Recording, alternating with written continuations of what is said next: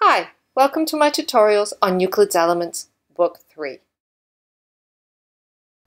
This video presentation is going to be on Proposition 5 of Book 3, which states that if we have two circles which cut each other at two points, C and B, then they do not have the same center.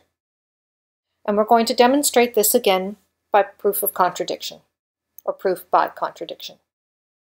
So assume that E is the center of these two circles, ABC and CBD.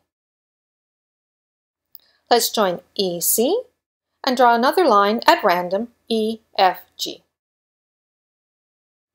Now, since EC and EF are the radii of this circle A, they must be equal. So CE must equal EF. By the same token, since EC and EG are radii of the same circle, in other words, E is the center of this big circle, then CE is equal to EG.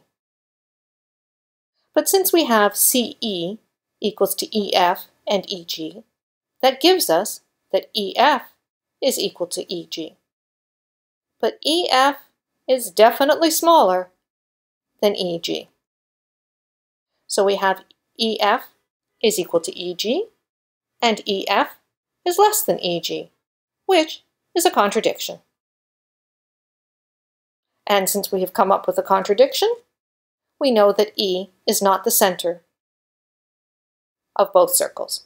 So therefore, this big circle here, sorry, this little circle here and this big circle here, touching at two points, cannot have the same center of the circles. And that concludes this video presentation.